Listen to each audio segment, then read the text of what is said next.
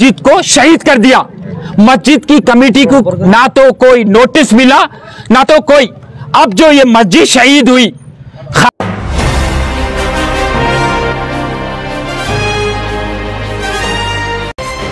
देख रहे हैं NNC news.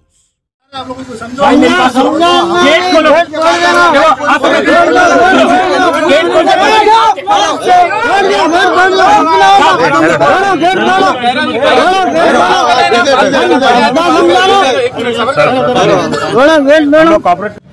Shamshabad green avenue colony Khwaja Mahmood मस्जिद को रातों रात पुलिस की जेर निगरानी में शहीद कर दिया गया। यह मस्जिद में लगातार दो साल से नमाज़ होती आई और रात में मंसूबा तरीके से पूरे एरिया की लाइट बंद कर इस मस्जिद को शहीद कर दिया। मस्जिद की कमेटी को ना तो कोई नोटिस मिला, ना तो कोई। अब जो ये मस्जिद शहीद हुई खाजा महबूब महमूद इसका जिम्मेदार कौन? इसका जिम्मेदार वो नामर्दों से भरा हुआ वक्फ बोर्ड इसका जिम्मेदार तेलंगाना की गवर्नमेंट, केसीआर जिम्मेदार। इसके जिम्मेदार कौन? इसका जिम्मेदार तेलंगाना की पुलिस। आज हमारे जज्बात के साथ खेला जा रहा। हर वक्त ये देखा गया कि रियासत तेलंगाना में आए दिन मस्जिद शहीद हो रही और हमारी कौम सो रही है। चंद लोग हैं जो ज़िंदा है, जिनके पास कैफियत है मस्जिद को लेके वो आज यहाँ मौजूद है। कहा है उलमा कहा है हमारे हमारे सरवादार मसाजिद को बचा नहीं सके और आज देखो पुलिस की इतनी निगराबंदी है कि उन लोग हमको अंदर दाखिल होने नहीं दे रहे। और बोले कि जाके कलेक्टर से बात करो, जाके म्यूनसिपल कमिश्नर से बात करो। ना तो कोई नोटिस दिए, ना तो कुछ। रातों रात आए बुलडोजर लिए शहीद कर डाले। अब ये एफ़ रजिस्टर कौन करेगा? वक्फ बोर्ड का कौन चेयरमैन आएगा यहाँ? वक्त बोर्ड का कौन शख्स आएगा यहाँ? कोई भी यहाँ पर मौजूद नहीं है। हम जब जिद्दोजहद कर रहे तो हमारे को पुलिस दाखिल होने नहीं दे रही। कितना जुल्म सितम हो रहा है मुसलमानों पर, हमारी मसाजिदों पर। रियासत तेलंगाना में, जब से केसीआर की हुकूमत आई, लगातार मसाजिदा शहीद हो रहे क्यों तो केसीआर दुश्मन इस्लाम है।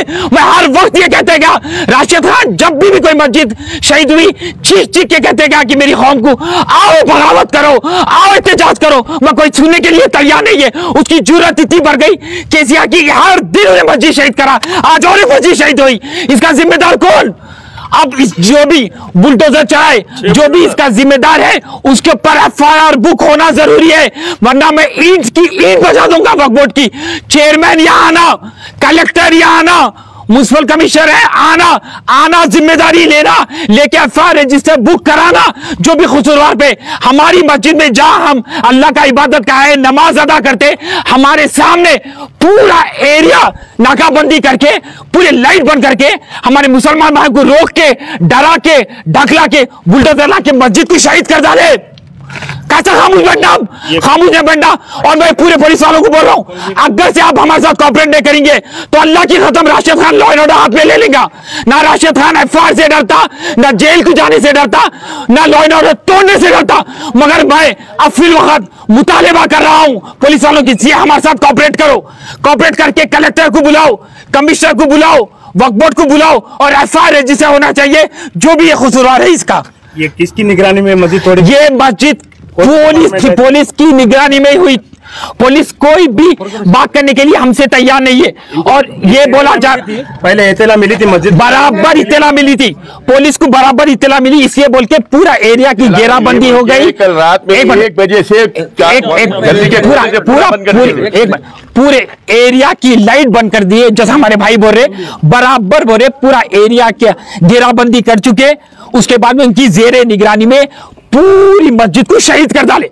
और यही पुलिस अब आके हमको कह रही कि अंदर नहीं जाना जायजा लेना नहीं देखना नहीं कुछ नहीं। जाओ कलेक्टर से बात करो। मस्जिद को जब शहीद कर रहे थे तो कुछ नोटिस दिए थे कोई नोटिस नहीं दिए। बगैर नोटिस आप यहाँ के मुकामी लोगों को बोल सकते हैं जो हर वक्त आके नमाज़ अदा करते कोई नोटिस नहीं दिए कोई इंटीमेशन नहीं। किसी को इतना नहीं करे सिर्फ़ रात में आए बुलडोजर लिए चढ़ा डाले। छह बुलडोजर ले गए। छह बुलडोजर ले लेके हमारी मस्जिद को शहीद कर डाले। यहाँ पर करीब दो साल पुरानी है मस्जिद। दो साल से। दो साल से लगातार नमाज़ हो रही। मस्जिद है अल्लाह का घर है।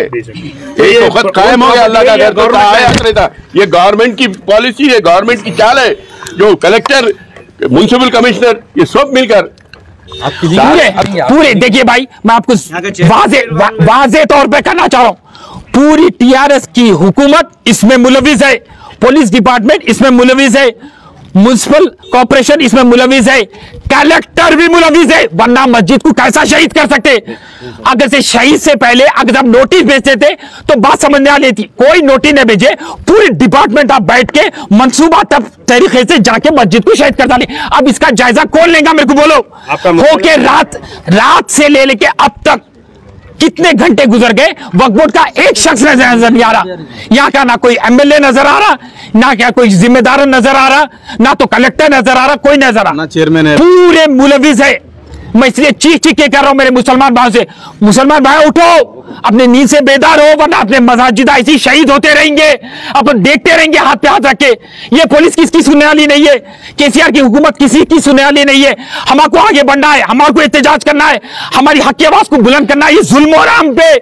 और एक मस्जिद जहाँ हयात कयामत तक वो मस्जिद रहती। आज मस्जिद शहीद हो गई। बड़ी अफसोस की बात है। उठो मेरे मुसलमान भाइयों। उलमाया, आओ। आके जायजा लो। बोलो।